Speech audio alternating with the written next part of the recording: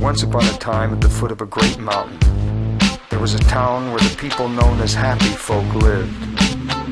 Their very existence a mystery to the rest of the world, obscured as it was by great clouds. Here they played out their peaceful lives, innocent of the litany of excess and violence that was growing in the world below. To live in harmony with the spirit of the mountain called Monkey was enough. Then one day, strange folk arrived in the town. They came in camouflage, hidden behind dark glasses, and no one noticed them. They only saw shadows.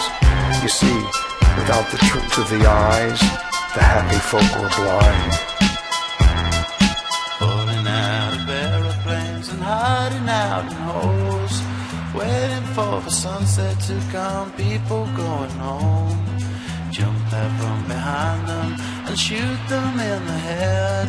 Now everybody dancing the dance of the dead, the dance of the dead, the dance of the dead.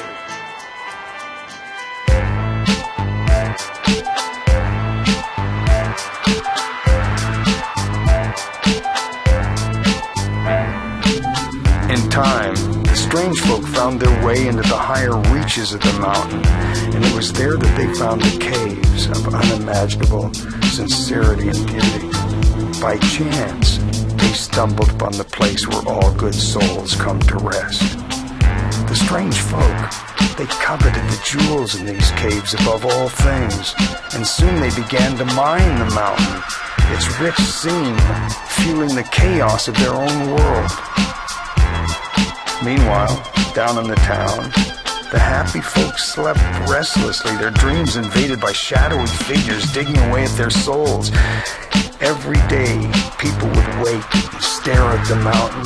Why was it bringing darkness into their lives? And as the strange folk climbed deeper and deeper into the mountain, holes began to appear, bringing with them a cold and bitter wind that chilled the very soul of the monkey. First time, the happy folk felt fearful, for they knew that soon the monkey would stir from its deep sleep. Then there came a sound, distant first, that grew into cacophony so immense that it could be heard far away in space. There were no screams. There was no time. The mountain called Monkey had spoken. There was only fire. And then nothing. Oh, a little town in USA, the time has come to see. It's nothing you believe you want. But where were you when it all came down on me? Did you call me